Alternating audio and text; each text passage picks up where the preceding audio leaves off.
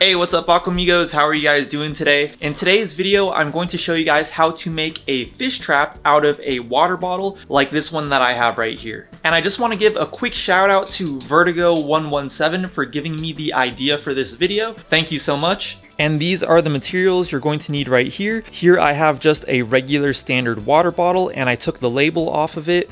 I have some thread or you can also use fishing line. Fishing line would probably be better than thread. This is one of those things that you use to eat corn in the cob. I'm going to use this to poke holes in the bottle. And the reason that I'm making a fish trap is because I have my 15 gallon tank right here and I'm trying to get all the fish out of this tank and put them into my 20 gallon tank. I was able to get most of the fish with with a net, but there are still quite a few fish in there that I'm just not able to catch. They're just very difficult to catch. So that's why I made this fish trap. And we're going to start by just cutting the top part of the bottle off. We're going to take the cap off. We're going to put it upside down and stick it back inside the bottle so that it makes kind of like a funnel like that. And then what we're going to do is we're going to use some stones to weigh the bottle down. We're also going to poke holes in the bottle with this thing right here. What I did with the thread is I doubled up the thread and tied it around it so that I can easily pull it out of the tank once there are fish in it. So I'll show you guys how to do that right now now.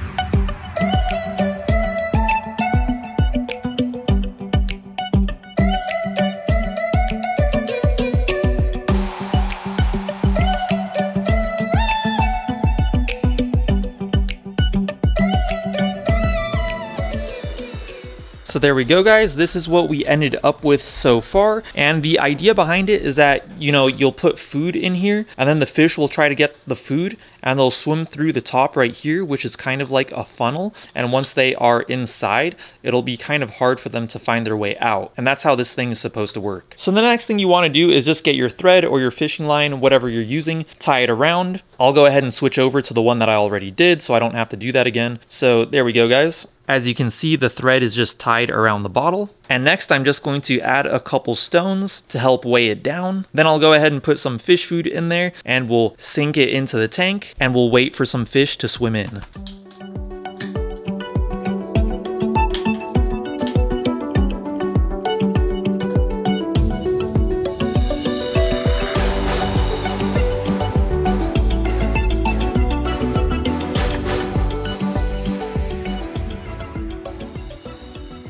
You can already tell that a bunch of the fry want to try to get at the food that's inside the bottle. So we're just gonna wait a few minutes and see if they make it in. Look, we got a couple that are already almost inside, and it's literally just been a few seconds. Ooh, there's already one inside.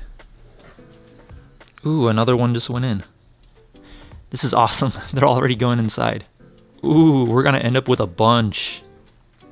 This is great. As soon as I can empty out this tank, I can move my mosaic guppies in here, which are currently living inside the indoor guppy pond.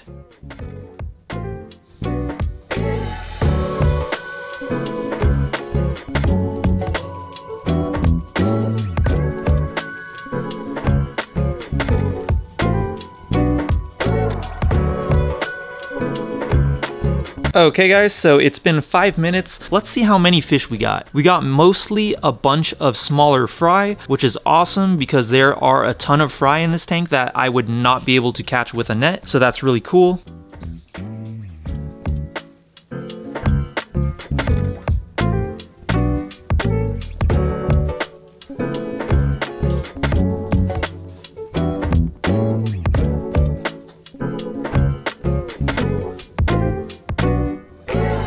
So check it out guys, I got quite a few uh, fry from using this method and soon enough, if I do this enough times, I'll totally clear out this tank and I can get some of my other fish in here. And I'm just doing it one more time really quick just to get some more.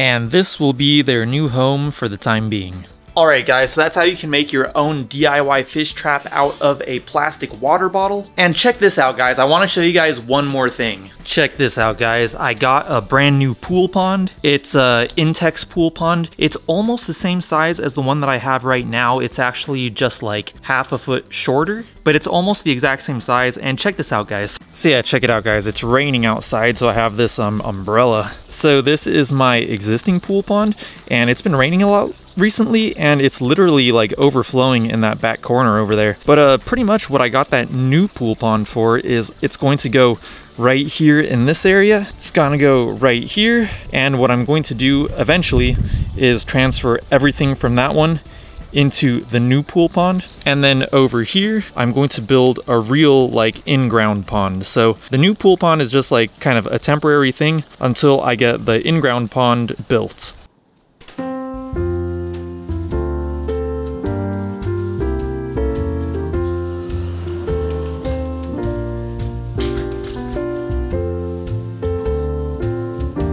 So I'm pretty excited for all that. Make sure that you stay tuned and are subscribed so you don't miss any of these videos. And really quick, I have three shout outs for the Aquamigos. I have a shout out for Hope Stubbs, a shout out for Love My Fins and Feathers, and a shout out for Joshua Santos. Thank you guys so much for being Aquamigos. I really do appreciate the support. If any of you would like a shout out in my next fish video, I post new fish videos every Friday. All you have to do is go down to the comments below and comment, I am an Aquamigo. And this video is going up on New Year's Eve, so I wish all of you guys a happy new year and all the best in 2022. I have a lot of exciting content coming in 2022. If you guys did like this video or if it helped you out, make sure to go down there and hit that like button. That would help me out so much. And if you would like to see more videos by me in the future, make sure to hit that subscribe button and also that bell notifications button. If you would like to follow me on Instagram, I'll put my handle right here. It's at YT underscore Tobias, and I'll talk to you guys in my next video. Peace.